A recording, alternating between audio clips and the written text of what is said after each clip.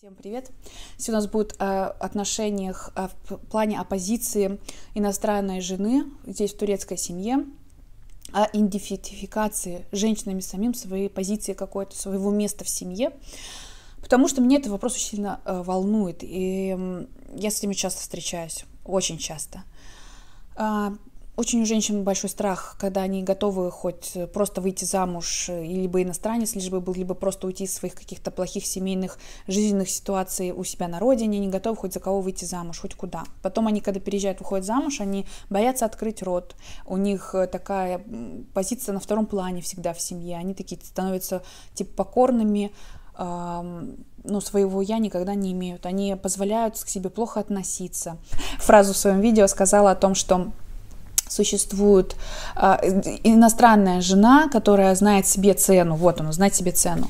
Она дорогое удовольствие для турка, потому что это очень много лишних расходов оформления всяких документов, э, не, она не может первое время работать в стране, если у нее нет рабочей визы, да, оформление такого, как жена, я имею в виду.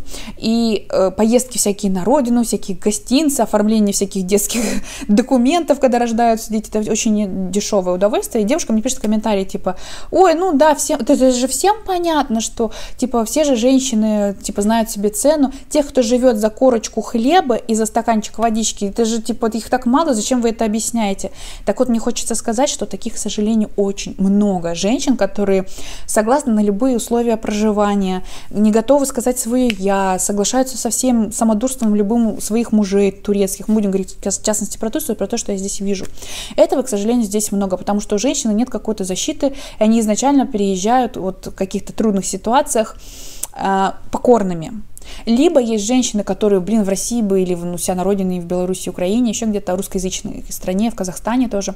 Ну, в Казахстане немножко другой менталитет, там мусульман больше, да, мусуль... я имею в виду мусульманы, в основном у них более язык служит тюркские народы. Это немножко другая все-таки уже философия идет. Я имею в виду наша славянская. И когда девушка вроде бы казалась на родине самодостаточная, э, самоуверенная, все у нее в порядке, из нормальной она семьи, папа, папа, мама там ее в детстве не обижались, у них хорошо, она переезжает в Турцию, она становится покорной, ротик вообще не откроет, глазки потупит вниз, делает все, как скажет муж, ее мнение не существует, и муж там, например, плохо к ней относится, обижает каким-то образом, например, финансовый абьюз, не тратит на нее деньги, вообще у нее никаких потребностей типа нет, покупает тупо продукты, одежду ей не покупает, и она не может сама работать пока первое время, да. Вот такие моменты, это абьюз вообще-то, кто не знал, это ненормальное отношение. А вот, в общем, деспотичность какая-то определенная. То есть, казалось бы, на родине у нее было все в порядке, у нее был свой я, свой голос, а здесь, в Турцию переезжая, она становится покорной, потому что здесь нравы другие, здесь мусульмане, другая культура и другая религия. День, день девушка должна быть покорной. И когда я это, блин, слышу на просторах интернета, где-то в комментариях, мне так, ну, мне хочется сначала смеяться. Думать, вы вообще в Турции были когда, и жили здесь, когда вы такое говорите? Покорная турчанка?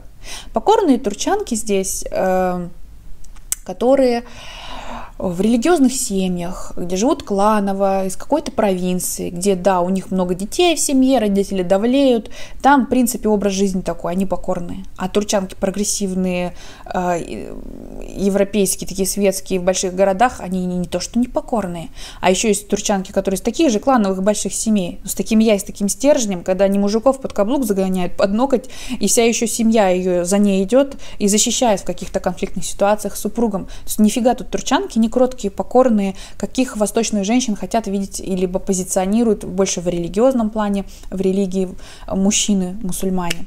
Это, например, покорные восточные женщины, такие как э, Казахстан мы, наверное, не будем брать, ну, на территории России, например, у нас там что?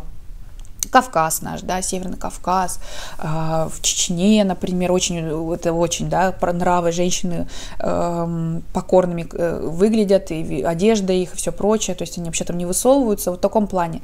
И девушки думают, что так и должно быть. В Турции вообще не так, и чтобы вы знали, покорности тут не ждут. Ты будешь покорной, на тебя сядут, поедут, и будешь всю жизнь как и шаг. на тебе будут пахать, тобой будут пользоваться. То есть ты будешь той, за которой за корочку хлеба, за стаканчик водички будет здесь жить поражает очень часто проблема финансовая здесь жен. И турки сами, когда женятся на иностранках, они не понимают, а не думают. Мой муж тоже даже не думал, не удивляйтесь вообще. Страхи у мужчин, что вот, например, она станет и уйдет, уедет к себе домой, или у нее, когда рождаются дети, у мужчин страхи, жена иностранка соберет детей, уедет. Вот это вот все, они семейные, детей любят. Это очень они, мужчины, об этом сами турки не задумываются, этих аспектах, финансовых аспектах, не задумываются, когда выбирают иностранку себе в жены. И вот у многих, вот девочки очень часто в письмах, кто-то, либо средний, когда достаток идет, всякие оформления документов того всего, на жену, на ее потребности не остается. Очень многим не то, что там такие ленивые, не хотят работать. Первое время не знаешь языка, адаптация здесь в принципе тяжело морально находиться, и работать ты тоже не можешь пойти по этим хотя бы причинам. И по закону, по сути, ты не можешь пойти, пока ты там жена. Ты должен либо гражданином стать, либо рабочую визу на работе оформлять. И вот э, девушки попадают в такую западню, что у них нет денег. Странные жены попадают в определенную финансовую ловушку здесь, в Турции. А, и очень у многих, блин, ну давайте будем честными, процентов 50 женщин, все очень многие думают, что турчанки не работают, сидят дома, можно сидеть, короче, быть домохозяйкой, муж будет в дом все приносить, и я буду финансово независима. Очень у многих это мотивация для того, чтобы найти себе мужа, мужчину, именно мусульманина, арабской какой-то страны, не обязательно Турции. Но тем самым женщины э, думают, что типа все мужчины мусульмане, либо восточные мужчины будут так, такого плана, да, либо все живут, кстати, очень многие думают по Корану, по э, религии своей, учитывая, что в Турции вообще 50% населения нерелигиозные, и типа они люди совести, дела, вот как в Коране написано, там так должно типа и быть. Ну, нифига подобного, честно говоря. А немножечко отступления было. В общем, женщины, выходя замуж, надеются и думают, что восточный мужчина будет их обеспечивать с ног до головы, но не понимают о том, что не всегда будет на этого, например, мужчина сам э, не такой, как вы думаете, вы не хотите его видеть такой, как, таким, какой он есть на самом деле. Мужчина сам не соображает, не понимает, поэтому, потому что были до этого отношения только с женщинами своей страны, что иностранная жена это большие траты, это невыгодно очень э, в плане не представляет да, финансово какие траты будут, и не предполагает, не рассчитывает, как его зарплаты хватит и всего прочего. И при переезде женщина получает не то, что она хотела бы, ни какие у нее были представления, либо вообще бывают ужасные ситуации, когда вообще там денег нет. Я вам зачитывала истории свои разные, и до этого вы, думаю, в курсе, да? Финансово, либо вот абьюз, э, просто нет денег на жену, ничего не покупается, либо там вообще они очень плохо живут финансово. И девушка в таком положении, ой, мужа вроде люблю, все хорошо, но финансовая ситуация фиговая, вот такой получается финансовый финансовый капкан. Получила то, что хотела, она сидит, не работает, но денег на жизнь, на достойную, хорошую жизнь, как она хотела, не хватает. И муж у нее вроде неплохой, только вот не может он как-то больше заработать, их лучше содержать. И расставаться она с ним не хочет. Я вам честно просто посоветую тем, кто девочки вот э, выходят замуж с мыслью восточного мужчину себе ищите, чтобы не работать, быть домохозяйкой. Все это очень красиво звучит, но даже будучи домохозяйкой, вот как домохозяйка вам говорю, а, наличие своих карманных денег, это, во-первых, независимость от мужа какая-то финансовая, финансовое, а не в плане какого-то побега, себе надо подушку финансовую на что-то, на какие-то дела э, откладывать денежку. Нет это моральная, во-первых, независимость тебя как свободной какой-то личности, высказывать свое мнение, свои какие-то взгляды, когда у тебя есть своя копеечка, своя денежка, которую ты решаешь, куда ты тратишь, не спрашивая, скажем так, разрешения, одобрения, и тебе не надо ни у кого эту денежку спрашивать у мужа. В частности, да, тебе что-то свое, какое-то даже женские штучки, либо еще что-то тебе нужно приобрести.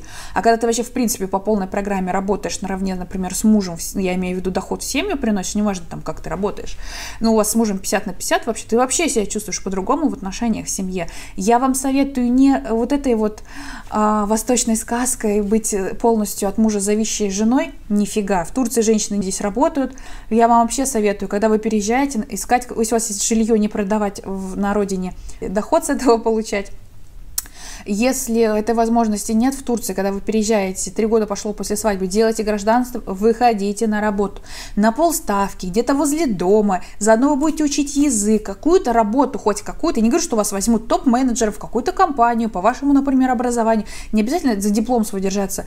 Просто получайте какую-то копеечку за что-то. Может, вы пойдете, например, в русский какой-то детский садик, няни, если у вас педагогическое образование. Вообще, кстати, идеальная работа, мне кажется, живя за границей, работать по своему языку, где-то там, если у вас комьюнити, комьюнити какие-то вашей национальности, там, из вашей страны есть вот такое прочее. Это очень удобно и оплачиваемо, и вам по душе будет, у вас будет еще коллективски можно или людей каких-то встречать, что с вами на одном языке может поговорить, ваша адаптация так будет проще проходить. Короче говоря, сидеть, стремиться дома, это не развитие, скажем так, в плане финансового. Вы попадете в либо финансовый капкан какой-то, либо настанет момент, когда вы этим насытитесь, вам надоест быть женой просто, вы захотите идти работать. Такой момент должен настать. Вы это какой-то этап развития определенный в вашей стране, что вы будете знать язык, менталитет людей, и вам захочется уже с ними контактировать, выходить на работу, коллектив какой-то вокруг себя, местных здесь иметь. Вас это захочется потом со временем. И вот пассивный доход, либо вы ходите на работу, когда сюда уже переехали, у вас есть на это официальном гражданство, например, вы устраиваетесь. Вы, э, когда просто получаете свои какие-то деньги, даже если они маленькие, не огромные, независимости, у вас просто морально моральная, у вас повышается самооценка, вы себя чувствуете на ногах, когда у вас какие-то деньги, которые вы можете на себя потратить, когда вы решаете, куда их потратить. И разве это неприятно когда-то пойти в ресторан? Вот мне лично, я по себе сужу, мне очень приятно, когда я могу пойти э, в ресторан и заплатить за себя, за мужа, там, за нашего ребенка, за наш семейный какой-то ужин, не в дешевом каком-то месте. Я не чувствую себя, вот, я типа копей, я не жадный, в принципе, человек, копеечку от себя отстегиваю. Мне приятно, что я чувствую себя, я заработала, я могу себе это позволить, и вы не поверите, как моему мужу это приятно. Этой... Потом может мне муж эту деньги, эту сумму положить в кошелек, молча потом в сумочку, мне еще что-то. Но сам факт то, что не унизительно, а, жена типа платит, и я там немощный. Нет, у него другое играет. У него гордость за то, что его жена во-первых, домохозяйка, в плане она заухаживает за ним, за детем, за домом, э, там, не знаю, вкусно его кормит или еще что-то, то есть в этом плане все там идеально, она за собой ухаживает, нормально выглядит внешне, так еще еще может денежку заработать. У него гордость за это происходит перед другими людьми, когда у него спрашивают, ну, у тебя жена домохозяйка, да, она что там как-то там, ну, такие вопросы, да, вот у меня тоже, например, жена не работает, да, блин, лучше бы на работу пошла, сидит, сверлит, денег у нас не хватает, такому роде, а мне муж очень с скажет, моя жена зарабатывает, она психолог, и при этом она домохозяйка на фрилансе, знаете, как этот, и он это очень город, не, он не ждет от меня денег каких-то, трат или еще что-то. Но мне лично приятно тратить на себя, на свою семью, на ребенка абсолютно. Это вообще очень кайф доставляет, желание работать снова. И приятно делать подарки себе, и мужу, своим каким-то близким. В общем, я честно скажу, когда вы начнете зарабатывать и быть более как-то в этом финансовом плане независимым, вы себя Улучшайте свое качество жизни морально. Вы себя чувствуете лучше. Второе, вы не попадаете в финансовый капкан угнетения, если вам не хватает финансов каких-то в семье, в турецкой с мужем. И короче, уже, come on, давайте бороться с этими стереотипами, что все турчанки сидят дома, не работают. Знаете, сидеть дома не работать, когда у тебя дофига денег, как многие мечтают просто, да, я озвучиваю сейчас, транслирую мысли девушек, которые мне пишут письма, моих подписчиц в комментариях, я все это вижу. Это, конечно, круто, но это не так уж и много, большой процент женщин, да? А если мужчина при деньгах, ну не факт, что он будет не жадным. Если даже он состоятельный и вам не нужно работать, а, это еще и не говорит о том, что вам эти деньги будут доставаться. Люди, понимаете, характеры бывают разные. То есть то картинка, которую вы стремитесь, мечтаете найти восточного мужа, а, именно вот в этом плане, не всегда совпадает. Это, блин, из 100% он может быть 20% а 80% остаются на бабах и получают не то, что, о чем они мечтали. Складывается немножко судьба по-другому. Поэтому женщины, э, я считаю, что не нужно все бросать э, финансово в плане, либо там есть возможность ну, сидеть не работать, когда вам не хватает денег, идти и работать. Вы, морально себя лучше по-другому чувствовать просто будете. А вот, вот так. Я считаю, что как вообще в другой стороне прожить и, блин, ну, в браке там 20-30 лет и, блин, ничего не иметь, и вы всегда думаю, должны думать о каком-то своем будущем, а что когда-то не то, что вы там разведетесь, но в конце концов э, инсульты, э, э, кальпатак, кардио, как это называется? Сердечные приступы никто не отменял. И сегодня есть муж, а завтра вашего мужа здесь нет в стране, понимаете? Вы всегда об этом должны помнить. И у вас всегда не то, что там денежка какая-то в запасе должна быть. Вы должны стоять на ногах и в любой какой-то критической ситуации остаться на ногах, а не упасть и быть абсолютно немощной, если вдруг в один момент вашего супруга рядом с вами не станет. Вот я о чем. И если у вас есть дети, например, вы должны стоять на ногах не только для себя, но и финансово для ваших детей еще в том числе. И как всегда говорит моя мама, я тоже так считаю, когда ты рожаешь ребенка, ты всегда должна думать о том, что сегодня у тебя муж есть, а завтра по каким-то ситуациям его может не быть. И ответственность за ребенка ты несешь сама, а то и за двоих, а бывает у кого-то за троих, и финансовую в том числе. Должна родить столько детей, сколько ты сможешь сама заработать и прокормить. Имейте, девочки, это в виду. Я хочу, чтобы вы были не в абьюзных отношениях и жаловались мне, то, что у вас мужья не тратят денег, что их нужно либо деньги от мужа выбивать, либо он ваши интересы какие-то финансовые скажем так, упускает, не обращает на них внимания, ну, вы тоже будете более-менее какие-то независимые, у вас появится другое право голоса и другие ощущения в отношениях. Вот, так что спасибо за ваше внимание к моему видео, жду ваших комментариев по этому поводу, что вы думаете. Скоро увидимся, всем пока.